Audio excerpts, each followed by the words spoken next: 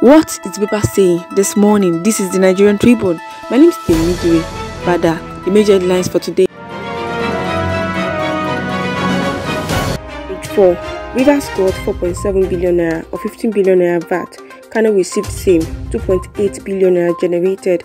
Wiki reviews lament injustice.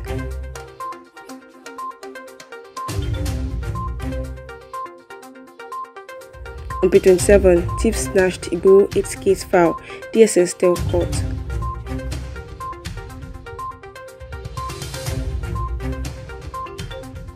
Federal Executive Council approved 5G network. You find this on page 25.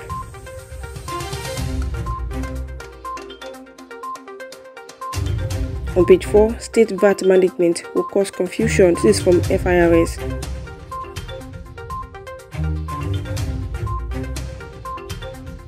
And on page 8, EFC now tool of oppression opposition parties, tell Buhari.